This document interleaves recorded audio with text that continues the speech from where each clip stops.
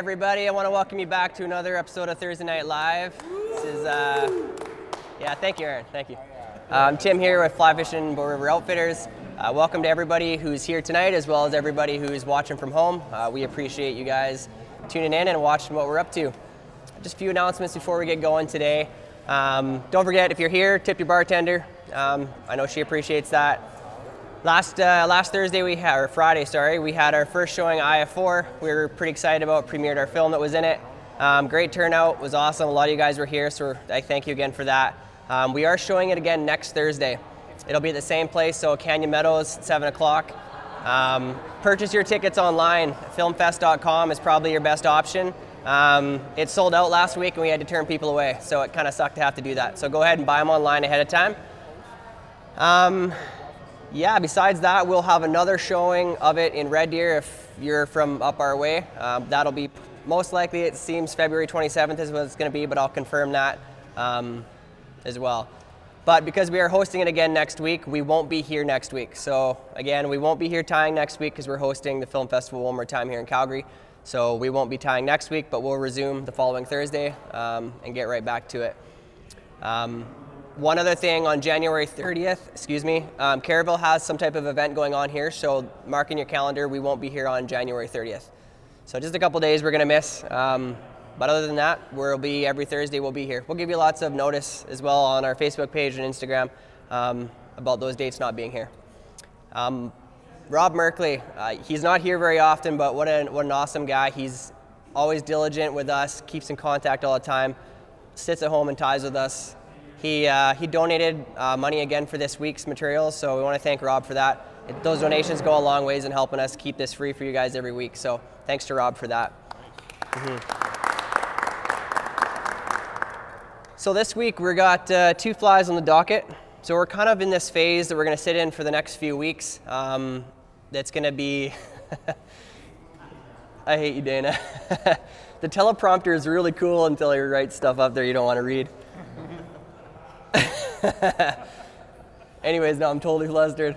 So we're gonna tie, uh, tie two flies that are gonna kind of follow this theme of um, Bow River flies. So we're gonna, this week we're gonna do a Copper John. We're gonna do it in red because this is a great color for this time of year if you're brave in the weather and you're getting out there to fish. Red Copper John's really good. Um, then we're gonna do a um, Bow River Bugger. So literally created on this river for this river. Also another great fly. We're to go through that. We have done this one in the past, but we're to review this one again and go through it. And then for the next probably month at least, we're to pretty much slide into just different flies that um, us as guides use. We're not, we don't mind giving some secrets away because they're not really secrets. They're common flies, but they work. So we're to take you through kind of a whole bunch of Bow River flies.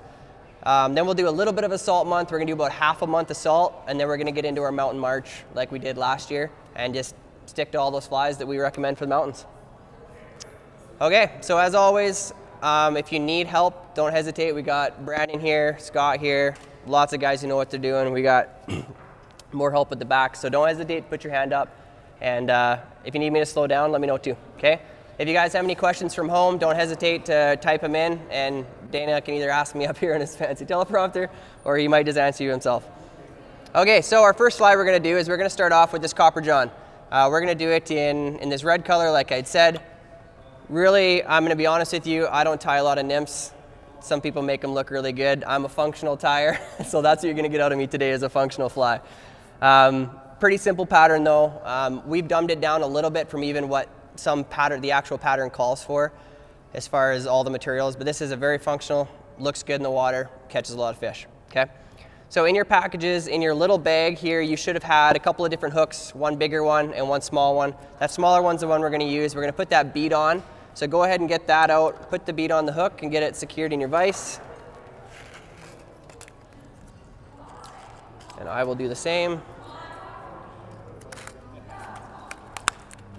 So tonight we're gonna, this is a, a pretty good size. This is a size 14. We're using a Mustad um, nymph sprout hook tonight. This can be tied a lot smaller. Not sure I would venture much, much bigger than this one. Um, for our waters, but you definitely could get smaller. But they're really, they get really a lot more finicky to tie as you go, even smaller, okay? So then you're gonna have a piece of lead-free wire in there. So th this week we're to use um, 0.02 is the size. So you take that, we want to get maybe five wraps, six wrap of, wraps of it on there. So how I'm going to kind of do that is I'm to come grab the tag end. I can start down here at the butt because I'm to be able to push it forward. So we're to go four, five, six, let's say seven. So you can either use your nails to pinch that off or kind of go a little deeper into your, uh, your scissors. You want to kind of pinch that tag down so that it's not sticking up and it'll slide up into that cone quite nicely. Then just push it forward. And now where my tag is, I can see I'm gonna put a couple more wraps because I want this to come, my wraps to end just into that, the hook point. Okay, so you can see there, it's just barely into the hook point. I'll do the same thing. Don't wreck your good scissors. If you are, like I just did, you'll see I'll reach deeper into my scissor to cut it because we do most of our fine cutting up at the tips. What can I grab for you? Uh, I don't have any wire in my... Any wire, for sure. Uh, or the... Or the copper? Brandon, you had one job. okay, so what I'm gonna tie with for thread tonight, I'm just gonna use a UTC 140, no problem. UTC 140, I'm gonna use it in black, black for both flies, but I'll use a, a one, or sorry, this is a 70, I'm gonna use 140 for the next fly. So a little bit thinner. We don't wanna stack up a whole bunch of um, threads on this and make it look too bulky, so I like to use a little bit smaller thread. So I'm gonna start that thread just behind where I just put those wraps of, of lead wire on, just secure it in there. And then what we want to do is we want to work back up over those thread wraps. Once we've built a little bit of a dam behind it, we're just going to work it up. Not that we need to cover it all up, we just want to make it so it's secure and it's not going to move on us. So we got a really fun part coming up next.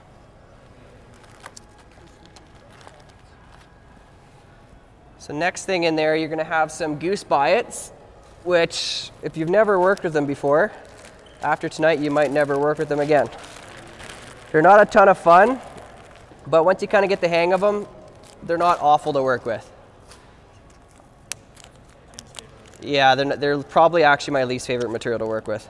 So this is just a stripped goose biot in brown. So it kind of comes on these strands like this. If you tip them up, you can see that it's it stands up, you're actually just taking off two of those. So I think in your packs you'll see them. Some of you probably have a lot more than just two, um, but that's okay. So we're just gonna use two of them. So I'm gonna reach in and get two of them out. You can just strip them off. They're kind of on a stem and you just strip them off of that. So I'm gonna show you how to put these on one at a time. If you're super talented, like I am not with these, you can put both on at the same time. I find for myself, if I don't put them both on, or if I put them on both at the same times, they just never end up sitting where I want them to at the end. So I'm gonna go one at a time. So how I wanna measure this is I want about half of the length of the hook shank out the rear end, okay? And you're gonna notice that when you hold that goose biot it has a natural curve in one direction. So when I tie this on, I want that to curve out away from the fly, not back in towards the, the hook, okay? So again, you can see that little bit of bend is in this direction, and I'm gonna shape that so that it pushes out away. So when you have them both tied on, it looks like the tail has splayed itself, okay? So I'm gonna come in, again measuring so that it's about, you wanna go about half to three quarters of the length of the hook shank out the back end, and you're gonna tie it in right in front of that, those lead wraps that you put on. You can see it's just on there now. We are gonna work our thread back down once we have the other one on, and that will help us actually splay them out. But we gotta get them both tied in first. So go ahead, go ahead and put the first one on, and then flip it over and go to the other side, and you're gonna put the other one on, and try to keep them at equal length. And you're not tying them directly on the side of the fly, you want them to actually tip up, almost a quarter up onto the, onto the top of the hook shank, but you don't want it to be totally on top. And then when we tighten them down, they're gonna splay out for us quite nicely, they should. It's normally the second one that's a little trickier to get into place take a nice loose wrap and then a couple of nice tight ones. And so now if you look at this, I've got, it's kind of a hard angle to see on there, but I got both of them on. I've got all that extra stuff up by the, the bead still, but we're gonna get rid of that here in a second.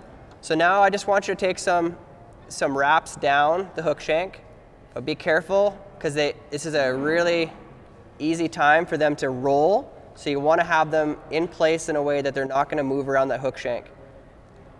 So sometimes I'll even do what I've just done now. I know you can't see because my hand's in the way, but I've actually gone in and separated those biots with my fingers. And so that when I'm wrapping down the hook shank towards them, they're already kind of got a natural splay going. And now you'll see as I go that they're, they're already wanting to splay out for me. And you can manipulate them on the hook a little bit as well. Don't get frustrated with them. They're, they're not an easy material to work with. We want to stop our thread just past the barb of the hook. If you left your barb, in, barb on still, you'll be able to see that. Okay? So they should have splayed. As you kind of tighten your wraps, they actually want it, it almost naturally pulls them out a little bit. So once you know that you've had, you have those nice and secure, you got some wraps moving back up, I want you to go in there and snip out the butt ends of it. But make sure you don't do that prematurely. And then work your thread back up over top of them.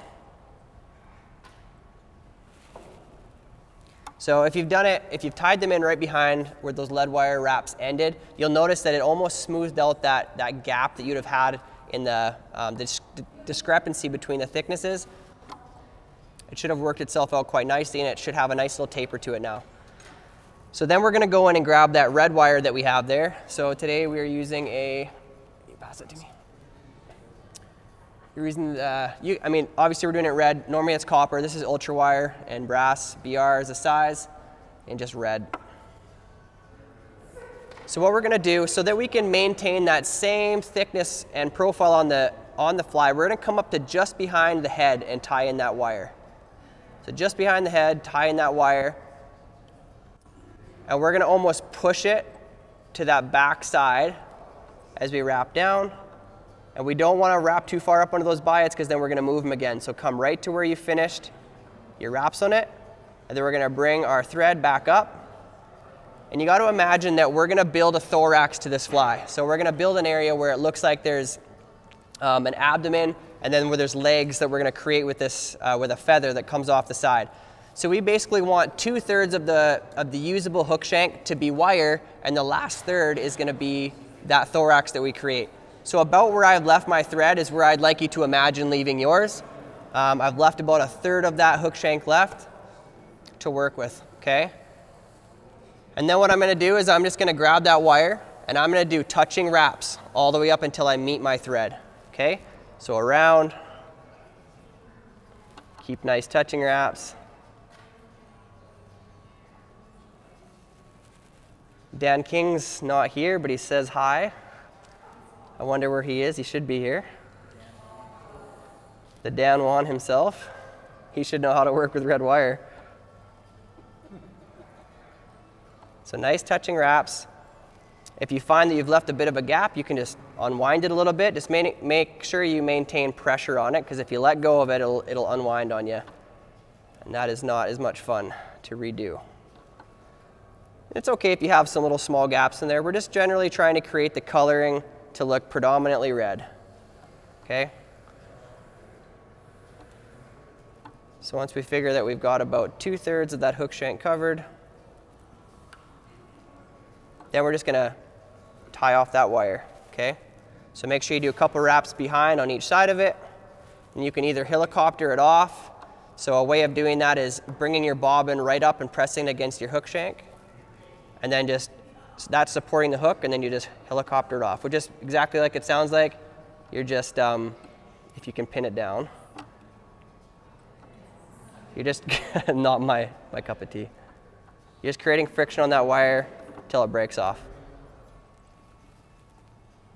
Like so. So that should have brought us to that point. Next material that we're going to be looking for is you've got a piece of this mylar flash. What did I do with it? Right here. So this is just Uni Mylar number 12 and just a pearl color. Um, this pattern, sometimes you'll put, you'll use this as well as like a black flashback um, that you'll, or a scud back or something that you'll put on as well. It does help splay the legs of the, the hen hackle that we'll put on here in a moment. But today we're just gonna go with one piece of Mylar. So go ahead and grab that. We're gonna end up tying that in just behind the head of the fly. And this you want to get right on top, okay? So try to nail that right on top of the fly. Like if you see what I just did, it's not easy to try to get the very tip of the material, but once I've got a wrap or two, I can tug on that and it'll pull it back to right where I tied it in. Then we want to just take a few thread wraps back, making sure that that stays right on top of the hook. And then we're to again come back forward. Next thing we're looking for is we got that peacock herl. So this is what we're going to use to create the thorax of the fly. So I don't know how many pieces you have in there, maybe one, two, ten. Um, you could use as little as one. I like to use two. It just makes less wrapping up. So remember, this stuff is a really unique material, but it is also very brittle, especially up at the tips.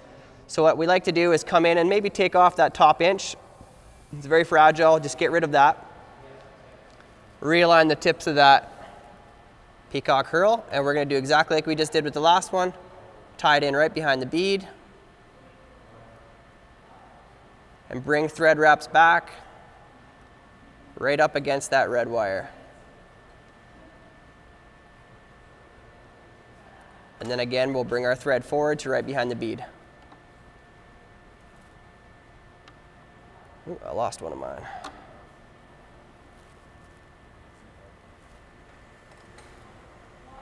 Really unique material, but like I said before, it can be kind of a annoying thing to work with just because it is so fragile. Okay, so now that we got those together, we're just gonna wrap those forward to just behind the bead.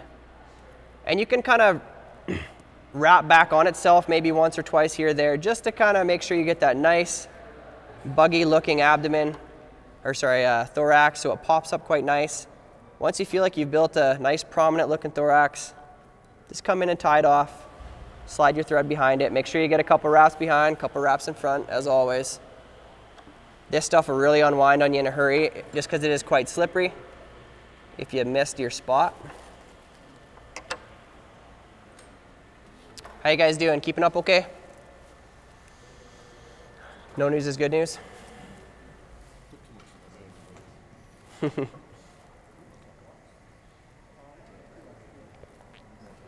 okay, now in your package you will have found a tiny little, find one here to show you. It's just a piece of hen cape. What did I do with mine? There it is. So hen cape is what it's actually supposed to be. This is cheating a little bit. This is actually taken off a pheasant, but I really like it. It looks quite similar. Um, what you're looking for is we're actually going to create the legs that are um, basically coming through the body at this point. And how we're going to do that is just a kind of a unique, a unique way of doing this. So in a lot of flies, you would see there's actually a collar built out of a small piece of hackle like this. Um, but this time we're gonna, I'll show you how we're gonna change that up a little bit. So what I want you to do is grab that, come up to the very tips, and you want to expose the very tip of it. So about that much, okay? And you want to keep it even so that you've pulled the same amount of fibers down on either side of that. And you're gonna go in and you're gonna snip that right there. Okay, snipped it out. Now I want you to go back. You can pull that stuff forward and I want you to go get rid of all the fluff at the back of the feather. It just gets in the way for when you're trying to work with this thing. So I'm just really trying to get rid of it. Um, I can tell you just from experience of doing this enough, it's okay to take off some more of those back fibers. The less you have on there, it's kind of the easier it is to work with, but we need, we're gonna be designing some legs out of it. So I'll show you how much that I, I will leave. So I'll pull a couple more down. So that's plenty, okay? Doing a little bit of work ahead of time to kind of prepare what you're gonna do with it often makes this a lot easier on us. So also when you look at this feather, you can tell it also has a direction that it naturally curves. That's what we want to set onto the hook. So you can see if you had it the other direction, you laid it on there, it looks like those legs are just reaching off into space. We want those to come down when we tie them in to kind of curve down around the body of it and then we're gonna use this, we're gonna pull this through and tighten it down on top of it. Okay, so to make, make a little bit more sense in a minute here, but try to get a little bit better angle. Maybe I'll turn this sideways for you.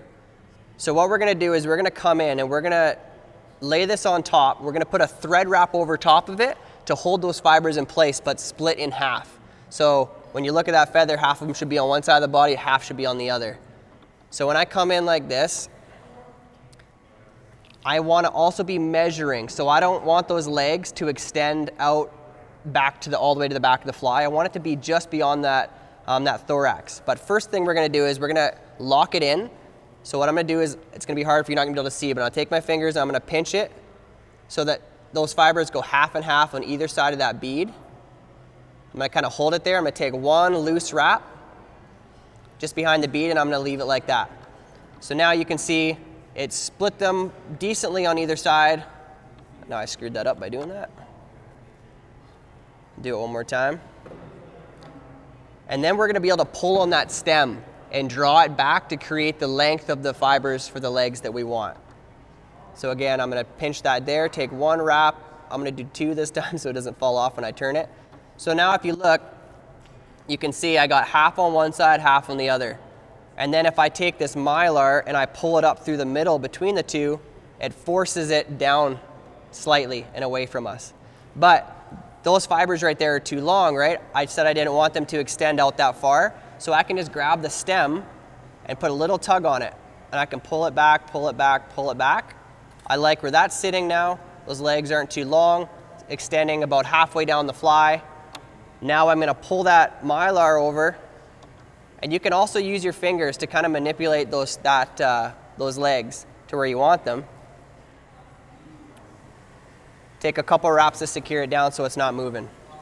Now nothing's permanent here guys. That's why we're not doing 10 hard, tight wraps. We're doing a couple wraps at a time so I can tug on that mylar if I want it tighter. I can give a little tug on the stem of that feathers to shorten up the legs a bit.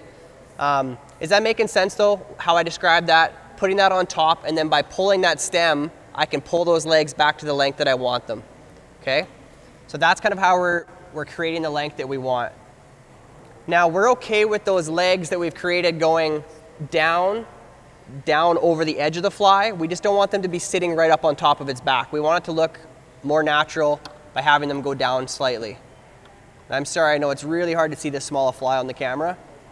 Um, but what I'm gonna do at this point is I've done a couple more wraps. I'm gonna make sure that I have that good and secure.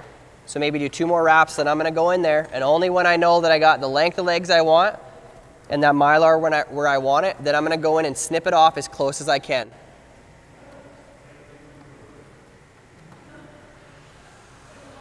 But it's a real bummer if you cut it and everything falls apart, so just make sure you've got it secured.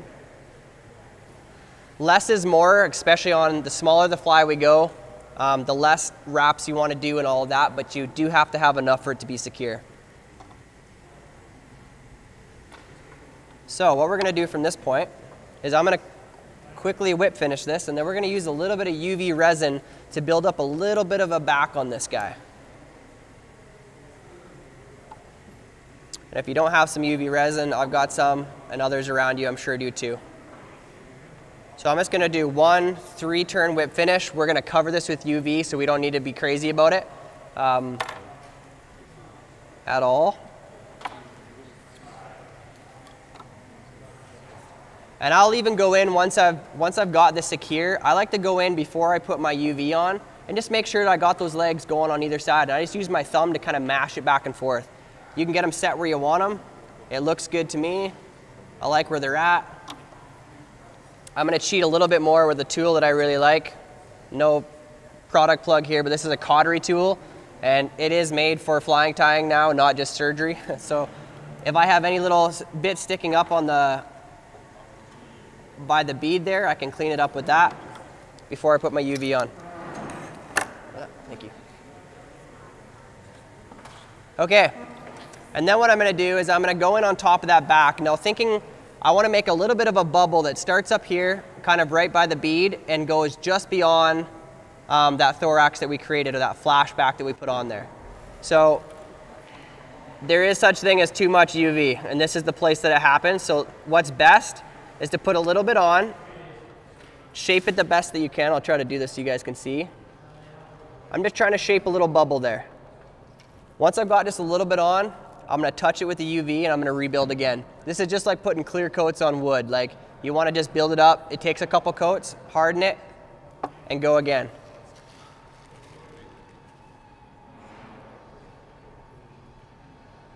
And you want to extend it just down onto the body a little bit and up over top of your wraps. I like that right there. Thing about UV is if, if you let it sit there too long, it will start to go around the edges of the hook and you want to get it nice and locked in before it does that. Thank you, Brandon. And that's it, guys. That is our Copper John. In the summer, we wouldn't quite often fish this in red as much, um, although there is days that the red works very well. I think they think it's a worm, but uh, we fish a lot of green, so a, a, lime green copper john is a really great color on the bow, as well as the natural copper color. But there's all sorts of wire colors out there, so play around with them. Purple ones are really good too. Fish love purple. But that is it, guys. That is our red copper john. Any questions? Thank you, Robert Hirsch from Seattle. He says hi too, tuning in. It's cool to see people from all over the place watching. All right. So once you got that UV set, if you need some resin, just let us know. Lots of people have it here.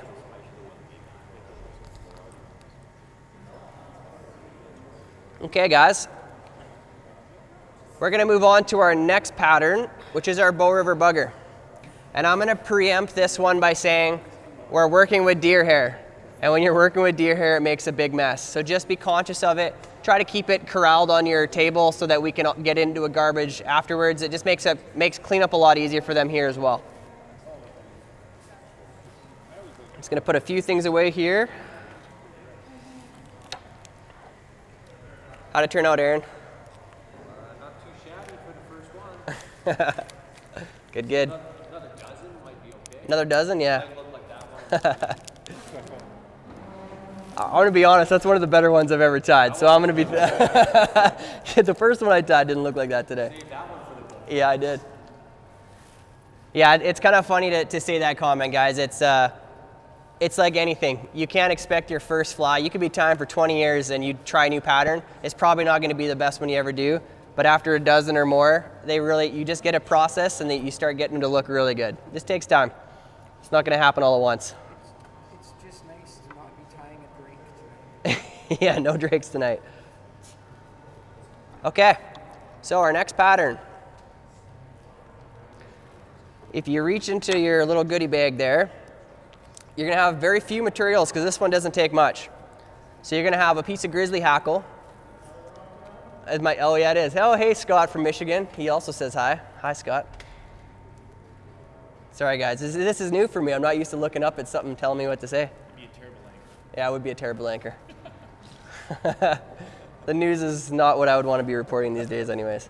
So you've got a piece of grizzly hackle, and I'll preempt this by saying we've already done some different bugger style flies this year, and there's so many different kinds of hackle to use. Today, you'll see me, I'm gonna tie in a little bit smaller hackle than you are, but not by much. It's still fairly large, even for this pattern. So whether it's um, a woolly bugger or a Bow River bugger, you can really vary the, the length of your, um, of your hackle. Whether you could go from saddle hackle to even schlappen, which is a lot longer, and it's just gonna create a little bit different look. Kind of the key points that we're trying to teach in this fly um, is spinning deer hair. We did it once last, once maybe twice last year. It's, uh, it's not a super easy thing to do, but if you just, if you, uh, you know, watch and stay pretty close with me on it, I think you'll be just fine. So let's get our hook in the vise. So you should have a, another hook in there, a larger hook. So this one, some of you have a little bit differing sizes, but it's either a six or a four. Um, and this is a Mustad streamer hook. Second here.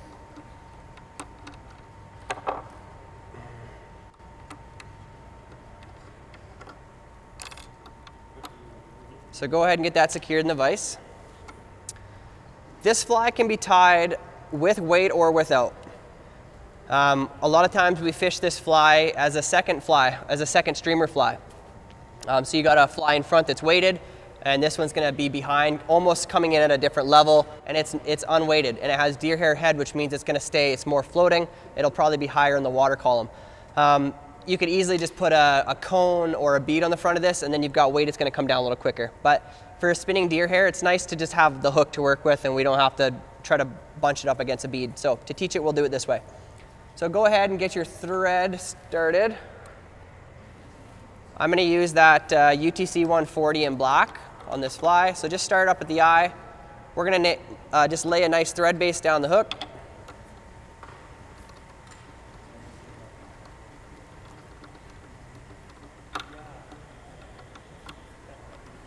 We're gonna come about to the, where the barb is or right where the bend starts on the hook. And we're gonna use a piece of marabou, which you should have in there. So color combination we're working with today, we're gonna do uh, a gray hind end on this one. And we're gonna use uh, olive deer hair for the head. So what it's gonna look like at the end, hopefully, if we do it right again, it's gonna be something like this, okay? So grab that piece of marabou. I'm gonna find the one I'm looking for here. Oop, that didn't work. You can get really finicky with marabou. What you're going to do as far as the length of how you're going to tie this in. Can I see your cup there for a Sir Brian? This is a great idea. I actually talked about a couple weeks ago. So this is just a, um, a fly cup that you'd get at a get at whatever store. If you put a piece of um, sponge in there and you just put some water on it, you can lay your marabou on it, pull it across, and now you've moistened your marabou and you don't have to lick it keeps the dye off your, uh, out of your mouth. So when we're measuring the length of this, we want to go a hook length and length. Okay, so I'm going to measure up by the eye. Roughly a hook length and length is what we're going to tie in behind it. Okay, so I wouldn't go much more than that. So I've measured basically exactly that. So I'll come back, switch hands, get a gathering wrap in on top. We want to keep this marabou on top of the hook as well. Take a few wraps to get it nice and secure. Work your thread back so that you're right where you want that tie-in point to be. Okay?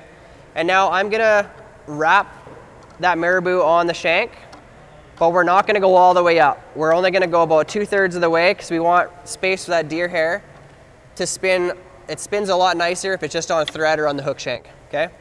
So I'm gonna go up about two thirds of the way, to secure that down and go back to my tie-in point. So we got to tie in two things here. First thing we're going to tie in is our, our grizzly hackle. So you're going to notice with your hackle as well, there is again always a concave side to it. So there's an underside and a top side. And you can just tell that, you can tell almost that dome that's created. We want that dome, so the bottom sides of the domes, if it, if it leans down like this and this is our bottom side, that's what we want to be pointed rearward. So I'm gonna tip it up like so. So when we wrap it forward, it doesn't look like those grizzly fibers are pointing forward up the fly. We want them to point backwards. And that's the best way to tell is once you start to tie it in, you'll notice, because if it looks like they're pushing the wrong way, you know you gotta just back off your thread, retie it in. So I'm gonna peel off a little bit at the back. You don't wanna waste too much because your guys' feathers, and if it's not long enough to get all the way up, most of you should have, should have a piece long enough. We, uh, we checked them out before we did this. Um, we're just going to do an open spiral up. So we need to, we want to basically use up the exact amount of um, hackle that we have. So I've, create, I've exposed a bit of a stem here. So remembering I want that concave pointed back, I'm just going to go in, I'm going to lock it down. Okay, and I'm, and I'm going to take that stem and lock that stem down up the fly. I tied it, sorry guys, I tied it in from the butt end. So I stripped off those fibers at the butt end, and that's where I tied it in. So a good question though, reason for doing that is the fibers are longer at the back. So once we get rid of all that fluff and we get to the actual fibers, um, then when we come forward, it's bigger at the back and it thins out to that head. Okay? Mm. Butt in. Because we're gonna lay it all back with the, it's, that, that's right, it's not a bad thing to tie it in at the tip. You're thinking that you want the bigger to be at the head and that's, that's true, but with this fly, we're creating, um, that head is what's gonna push everything back, okay? So that's where we want that bulk to sit. So next thing we're gonna tie in is you should have a piece of this stuff today is speckled chenille in gold black. Mark from Indiana says hello. The people love the shoutouts and I'm not paying attention. Sorry guys, I'll do better. Dana's doing jumping jacks at the back. Look up.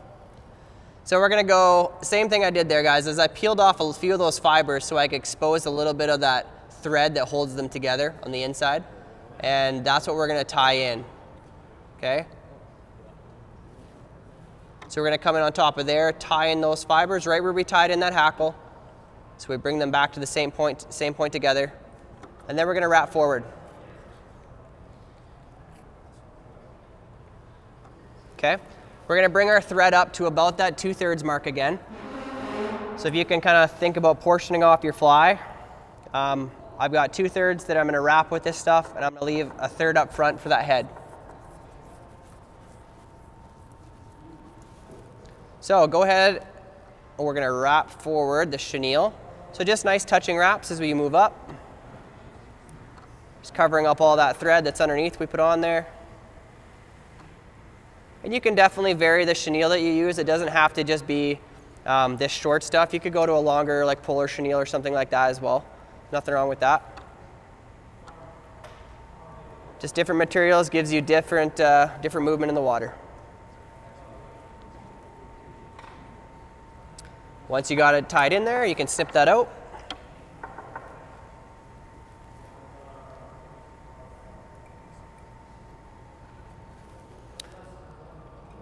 And once we got that locked in, guys, we're just gonna go with an open spiral. So taking that, uh, that hackle, making sure you've maintained the orientation of it that you want, and just do open spiral wraps. See that spun on me? So you can tell right away, I could tell that they weren't pointing the direction that I wanted them to be pointed. So that I can reorient it and start again and fixed it that time. So we're just wrapping it forward. So just depending on how much material you have to work with for that feather, you just you will either take less wraps, move quicker forward, or you can take more wraps if you have a little bit longer piece.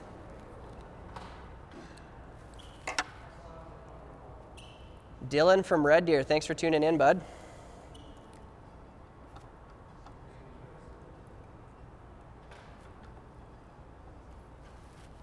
Okay, I'll give you guys a sec to catch up there.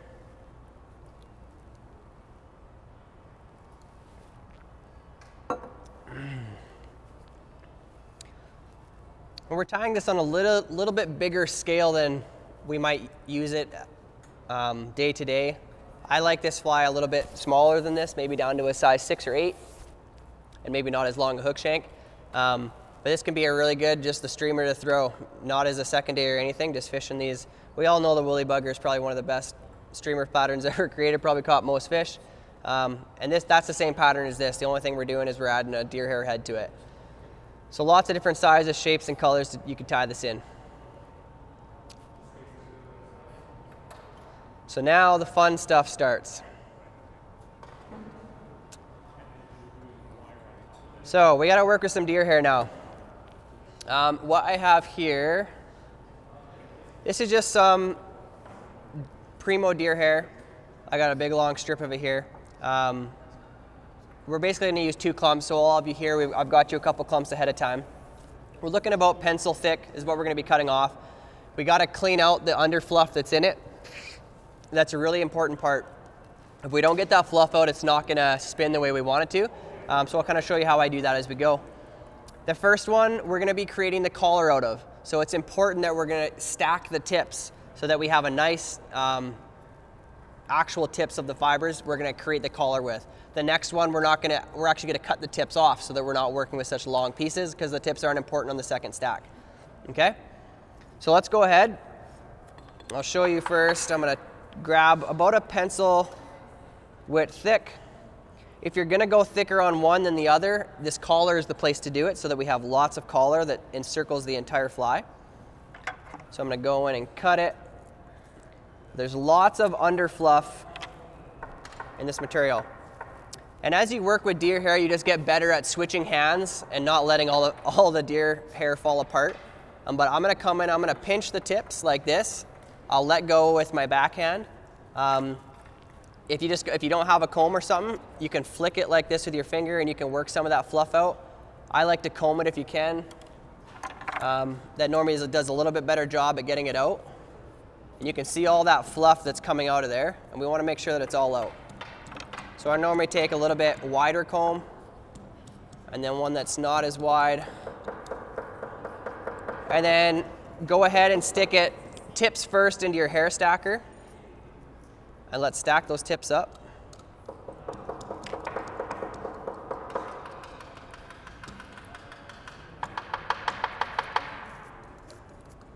Really got to emphasize though, get that fluff out. It makes your life a lot easier. So once we've got that stacked, you always want to you always want to think about the orientation of everything that you're doing. So keep it easy for yourself. So I know my hair stacker like this. If I pull the, the butt off here, those are nice stacked and they're already pointed down the, down the fly in the direction that I want them to be. So I don't have to grab them out, flip them over, do all this, and then all the tips I lose, they lose their alignment right away. So they're ready to go back down the direction of the fly. What I'm gonna do is I'm gonna come in and just pinch them. So I like run my finger down the edge of the stacker, pinch them so they're all locked together.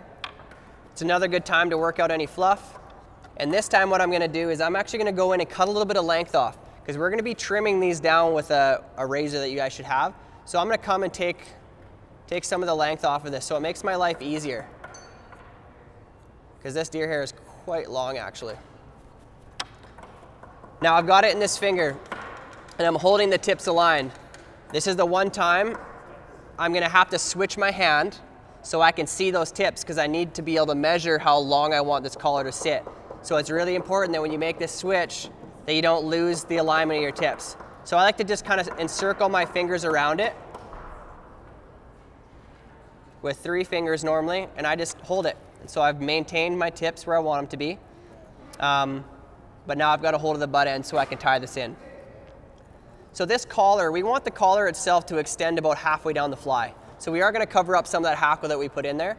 And that's kind of why I told you to orientate to tying in the butt end of the hackle first, okay? So I want that to extend about halfway down the fly. So this is my measuring time. I'm able to measure it. I can see where that's gonna be. And now again, I'm gonna have to switch hands because I need to get my hands on the tips to then start wrapping. And it's this wrapping sequence that's pretty important to get the, the spin to happen, okay? So if you watch me here, I'm gonna take, I'm gonna switch. I'm gonna pinch those on top. I'm gonna take a nice loose wrap over top. I'm gonna take a second wrap over top and I'm gonna pull a little tighter this time. You see those fibers start to flare? They start flaring. I'm gonna take a third wrap and it start, I'm letting it spin with my fingers a little bit more, a little bit more, and I'm actually encouraging it around the edge of the fly. Now one more wrap, I let go and pull tight.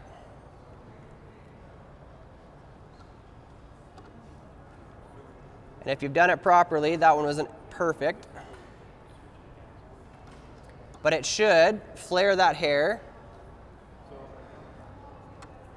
The biggest bummer at this point is if you, uh, if you pull too tight with your thread and it breaks, then you gotta start all over. So all we're looking for is to make sure that we have a nice collar like you can see underneath here. Those tips look really nice. They've, uh, you can use your thumb to get in there to fill in any gaps that you might see. But for the most part, looks pretty good. On this one, I can tell that I didn't use quite enough deer hair.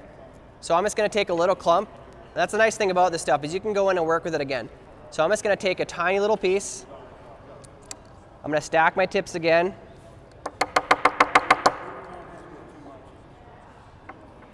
And I'm just gonna add this into the backside at the same length. There we go, that's a little better. And now what we wanna do is we wanna work our thread up through those fibers. So I start to kind of push them back and I need to get my thread up to the front. So I kind of wiggle it through and I make maybe one or two wraps through the entire piece as I go forward. But what that does is it really locks those fibers down. Um, and now there's different tools to help you with this. I'm not sure where mine went here. So I just got this, actually I think there's a, a tube that Krelix came in or something, but a pen, a pen that you take the center out of works just as well. And I just use it to almost push that hair back, okay? And that allows me to get my thread to come through to the front. And I wanna make a few thread wraps right in front of where that deer hair ends. And we call it stacking deer hair. So I'm, I'm actually using this to push that deer hair back a bit. Creating myself just enough room so that I can put in my next piece. And if you've really crowded that eye, then you're gonna use less, just less material than you would, would have the next time, okay? So I push that back. I've exposed enough space that I'm like, yep, that's good. It's gonna work to get another chunk in there. And now you guys should have a second, a second piece of uh, deer hair. We're gonna go again with about a pencil width. I want you to go ahead and cut it, cut it off the patch, or if you already have it, clean it out. But don't, I'll just emphasize not to overdo it on this front one. Don't put so much. We're gonna be shaving this down. You don't need to get crazy with the amount. So I'm gonna clean it out.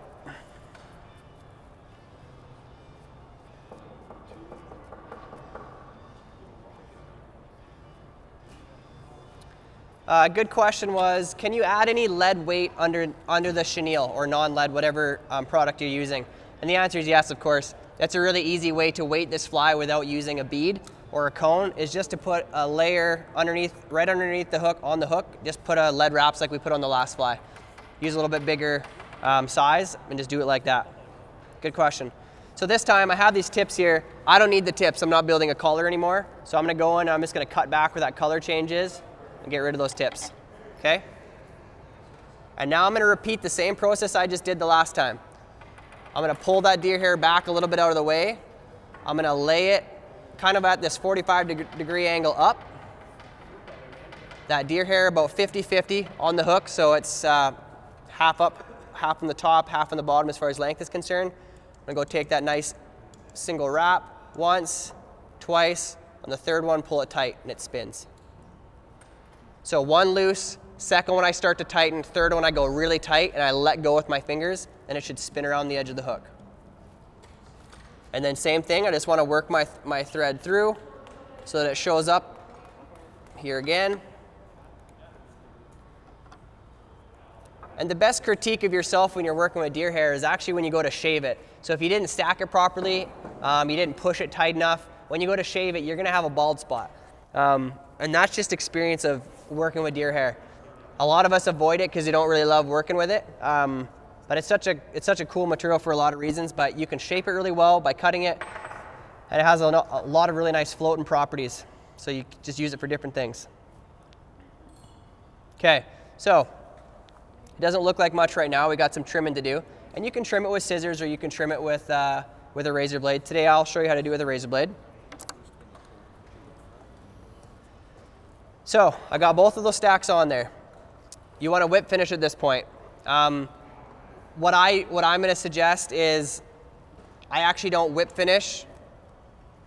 I, do, I use what in essence a half hitch tool. So I'm going to use the same thing that I use to push all those fibers back.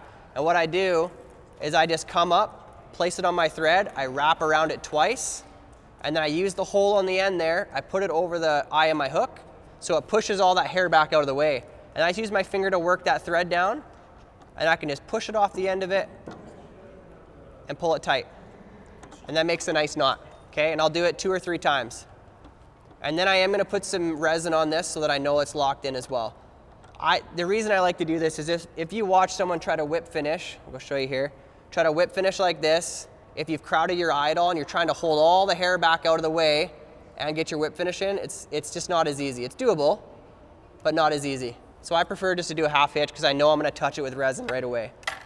Especially if you're using UV, you know it's going to not go anywhere. Once you got it locked in where you want it, you can trim your thread out of the way. I, at this point, before I do any trimming, I'm going to go in and touch it with, um, I'm going to use UV. This stuff is just like a, a head cement re uh, resin, so it's really thin.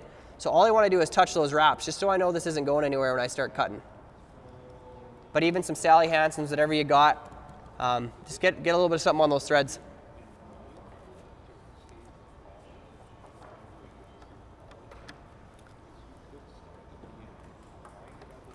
There we go.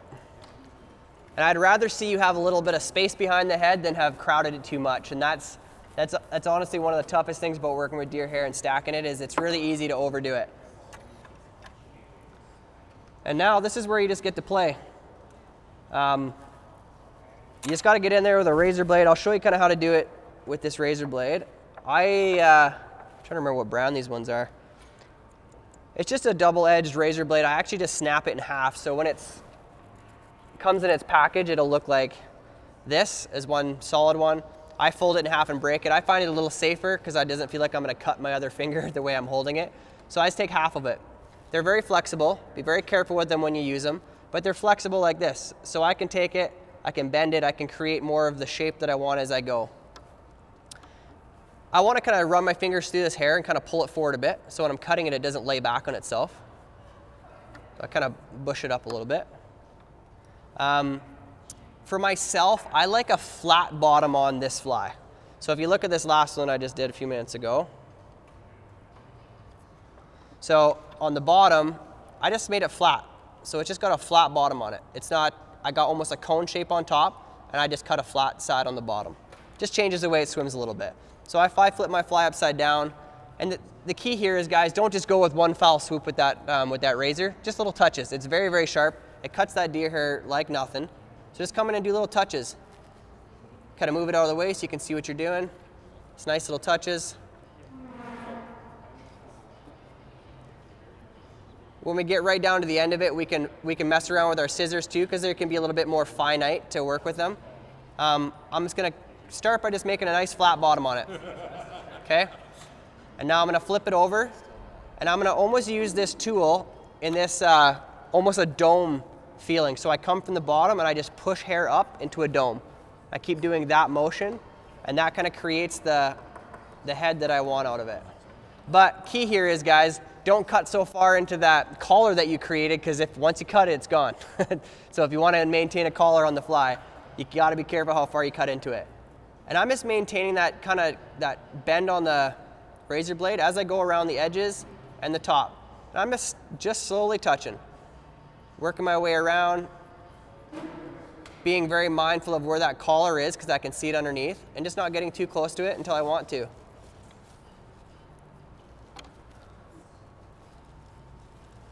And it's just a little game of finesse. Like I said, you can go in with your scissors at the end and, and pick out the little pieces that you want to get out if you missed them. But as you can see there, I've got that collar underneath. And at this point, I got a pretty good shaped head. It's a little flat on the bottom like I like. I'm happy with that. I got the dome on either sides. And now I'm just gonna go in and clean up. There's just a few fibers that are stray that, are, um, that aren't collar fibers, and those are the ones you wanna get rid of. So I will go in with my scissors at this point. And I'm gonna get in there and pull those fibers out that I don't want.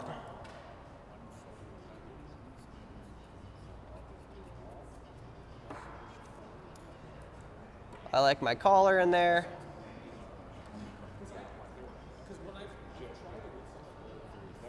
And once you're pretty happy with it, guys, the, the key here is stop trimming. If it looks good, stop trimming, because once you over trim, you can't put more deer hair back on. So once you get the general shape that you're looking for and you're happy with it, just stop trimming. Okay? Other style of trimming it, guys, is you could have made that dome look on the entire fly. I cut a bit of a flat bottom into it, you could leave that rounded as well. They both just swim a little different in the water. It's like putting like a, on the front of a Rapala, you have a bill on it. Well, depending on the shape of that bill will depend on how it swims through the water. So kind of creating the same idea.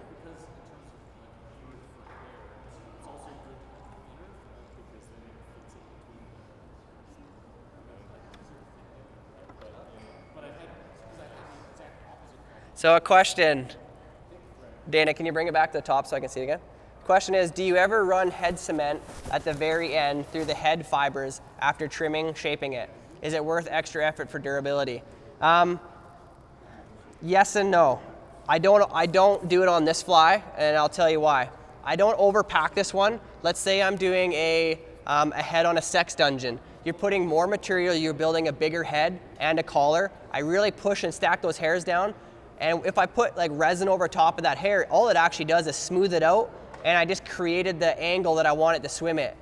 With this one, this is gonna hold more air. So if I put resin in there, all it's gonna do is take up all the air that's filling it to make it a little bit more floatable and it negates it. So I would say don't do it if you're hoping to have an unweighted fly.